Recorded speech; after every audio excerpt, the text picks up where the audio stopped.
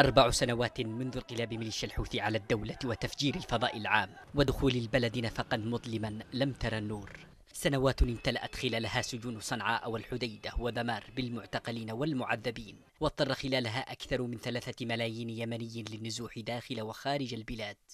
لم تكتفي ميليشيا الحوثي باجتياح المدن الرئيسة بل وصلت إلى أقصى الريف ومناطق الهامش وفجرت حربها الظالمة لتطال كل منطقة ومنزل وقلب.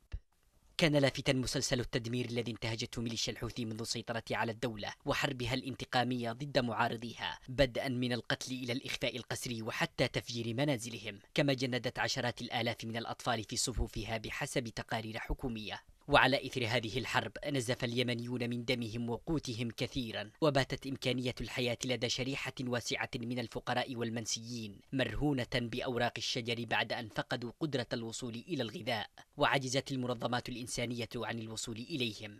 يتساءل العالم كيف يعيش ملايين اليمنيين المكتئبين في جوف الحرب والحصار والجوع والأوبئة وكيف تقتات آلاف الأسر بالرغم من استحالة معرفتها بوجبتها القادمة كما تقول التقارير الدولية. وهنا في الداخل تجيب الوجوه وهي تعبر خطوط الاشتباك اليومية وخطواتها تحيد عن مسارات الدم والخراب.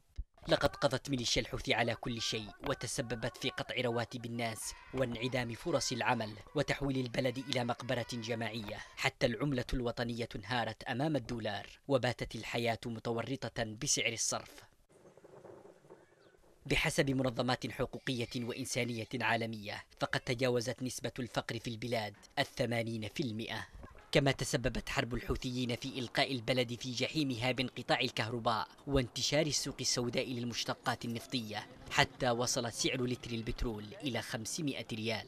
المدارس هي أيضا طالتها حرب ميليشيا الحوثي وقصف التحالف حيث أغلقت قرابة ثلاثة آلاف وخمسمائة مدرسة بسبب التدمير الذي طالها ومثلها أيضا أغلقت مئات المستشفيات وانهارت المنظومة الصحية بشكل تام بالتزامن مع تفشي أوبئة قاتلة كالكوليرا وحمى الضنك والدفتيريا.